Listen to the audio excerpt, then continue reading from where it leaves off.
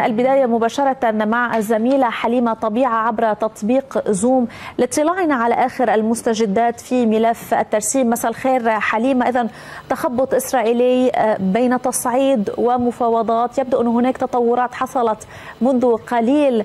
ضعينا في آخر المستجدات.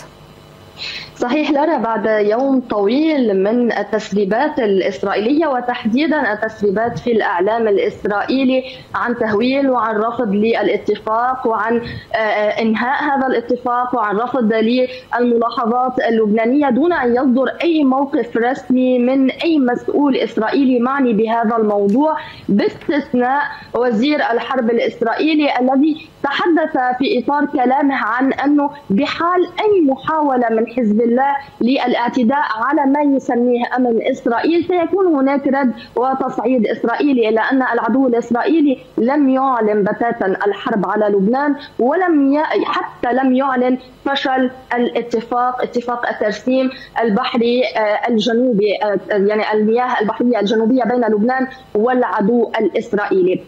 لبنان اليوم استطاع أن يربح معركة دبلوماسية بحسب معلومات الجديد. كان هناك يعني تقدير أمريكي وتقدير دولي للموقف اللبناني الذي التزم الصمت وكان حتى التصريحات التي صدرت إن كان عن نائب رئيس مجلس النواب الياس بوصعب أو حتى عن مسؤولين لبنانيين آخرين حول هذا الموضوع. كانت تصريحات إيجابية ولم ينجر لبنان خلف التسريبات الاسرائيليه وخلف التصعيد الذي كان ربما يهدف إلى أخذ من لبنان أي جواب تصعيدي حول ما جرى تسريبه من قبل العدو الإسرائيلي والإعلام الإسرائيلي، الموقف اللبناني على عكس ذلك كان موقف إيجابي. سمعنا يعني ما ما أعلنت عنه قرأنا ما أعلنت عنه وكالة رويترز نقلا عن نائب رئيس مجلس النواب الياس بو صعب الذي تحدث عن أن الاتصالات مستمرة مع الوسيط الأمريكي اموس هوكستين وبحسب المعلومات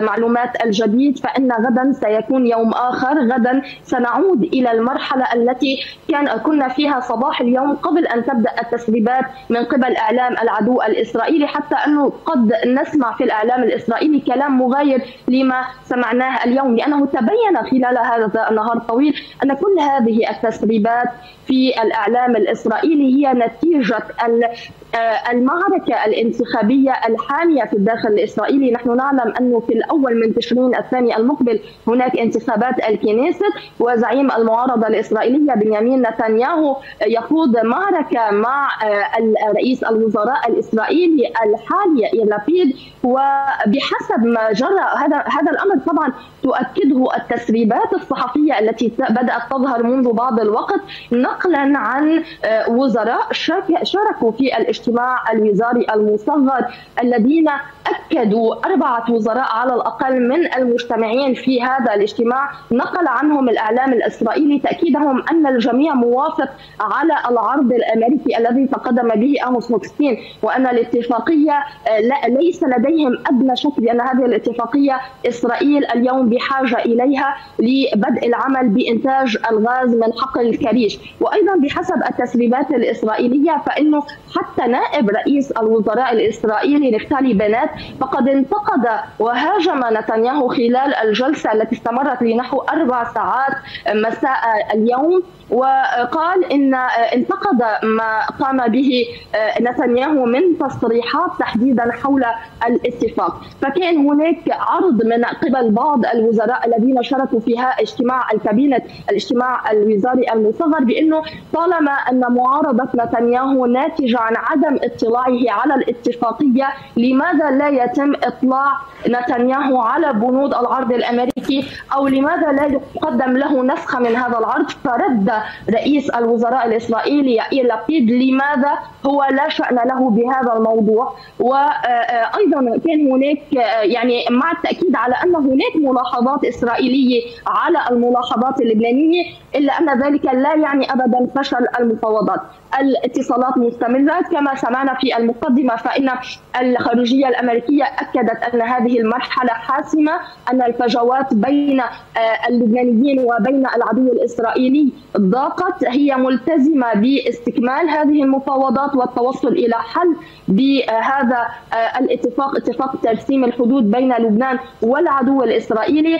حتى أنه من الجانب الإسرائيلي خلال هذا الاجتماع وهذا تأكيد على أنهم ما زالوا يبحثون بموضوع الاتفاقية والتوصل إلى حل. كان هناك نقاش في الاجتماع الوزاري المصغر حول من سيوقع على هذه الاتفاقية؟ هل هي الحكومة الإسرائيلية أم أنه سيتم إرسال هذه الاتفاقية إلى الكنيست فقط لإطلاعهم عليها؟ أم سيجري تصويت في الكنيست والكنيست هو مجلس النواب الإسرائيلي تماما كما يجري هنا في لبنان وبالتالي الأمور ستعود ابتداء من الغد بحسب المعلومات إلى طبيعتها وأعود وأذكر بأن لبنان هذه المرة نجح دبلوماسيته ونجح بعدم الانجرار خلف التسريبات الصحفية التي اعتدنا عليها من جانب العدو الإسرائيلي والتي تبين أنها فقط بسبب المعركة الانتخابية الحامية في الداخل الإسرائيلي. أعود إليك لارا. شكرا على هذه المعلومات الزميلة حليمة طبيعة.